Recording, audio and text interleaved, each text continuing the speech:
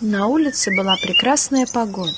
И мама предложила дочке прогуляться по окрестностям города Бор. Пойдем, доченька, погуляем. Смотри, какая на улице хорошая погода.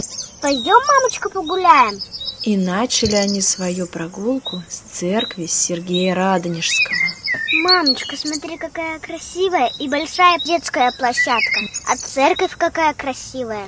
А в твоем детстве тут было так же? Да, дочка, тут стало очень красивым. Мое детство здесь было совсем по-другому. Старое здание в каких-нибудь местах разрушено. Сначала была церковь, а потом его закрыли. Моя бабушка, твоя прабабушка, рассказывала, что Великую Отечественную войну в этом здании размещалась воинская часть. Потом открыли дом пионеров. В 90-х годах начали воссоздать церковь и открыли воскресную школу для детей. А 9 сентября 2014 года открыли центр сельского заплата. Был освещен только что восстановленный храм. А сейчас здесь красивая детская площадка. И пусть маленький, но детский сад.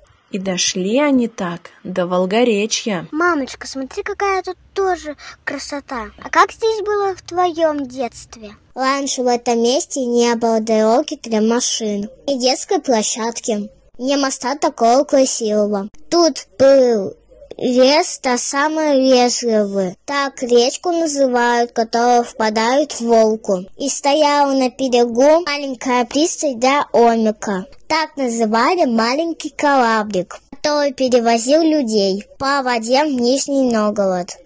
Они дошли до кафе мороженого «Калибри». Мамочка, посмотри, кафе с мороженым. Пойдем посидим и отдохнем. А ты мне расскажешь, было ли оно в твоем детстве? Пойдем, конечно.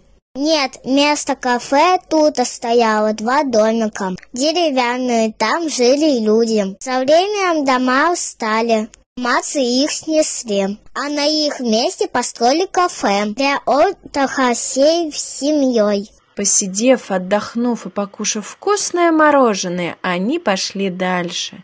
И вышли они на рыночную площадь, к Мухинскому озеру. Мама сразу начала рассказывать, как было здесь в ее детстве. Раньше здесь была рыночная площадь. Стояли палатки с одеждой, обувью и продуктами. Наши родители приходили сюда, купаясь продуктами.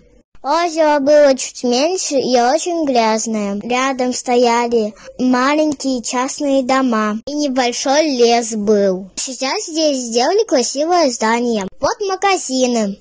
Детскую и спортивную площадку. И, конечно же, привели в порядок озеро. Сидя здесь, можно проводить время с пользой. Спасибо, мамочка, за увлекательное путешествие в прошлое. Мне было очень интересно.